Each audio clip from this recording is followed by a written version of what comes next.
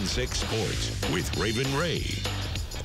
Basketball, basketball, and more basketball tops the Winter World Sports Desk tonight. The OSU Cowboys are back in Stillwater tonight, hosting the third-ranked Kansas Jayhawks. The Jayhawks are sitting at 2-1 in conference play. The Cowboys are the only ones in their conference without a win. So this is the first time of the two meetings this season for these two teams. First half, OSU trailing by 20. Keon Williams, wide open from the wing, drills the three, cutting into KU's lead, but KU doesn't take their foot off the gas pedal. Just under two minutes to go in the first half. Kevin McCullar Jr. to KJ Adams Jr. The baseline jumper is up and good. Second half, KU putting it on OSU. Hunter Dickinson pulls up from 15 feet out. There's a look at the score from Stillwater, 90 to 66. Up next, the Cowboys hit the road Saturday to take on Kansas State in Manhattan.